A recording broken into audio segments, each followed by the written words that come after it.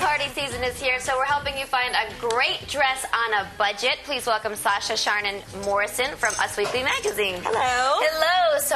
Wants to look great for the holidays, but they don't want to spend a fortune. So that's why you're here to help us today. That's right. Well, it's so easy just to kind of go out to a few stores, Forever 21, H&M. They all have looks that are, you know, basically replications of what the stars wear. Right. So, I mean, it's just so easy and it looks so good. And you're not going to feel embarrassed because, you know, you're walking down the street and... Because it's trendy, too. Yeah. So you don't want to spend a lot either when it's trendy. So let's see. We've got some Okay. models here, All right? So, and then our final look, this is Justine. And this is our kind of like cubicle to cocktail look.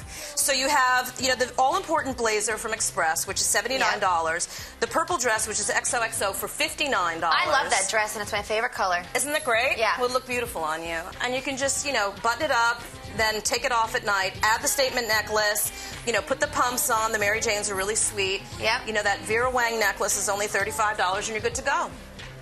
They all look fantastic. We should have them all back on.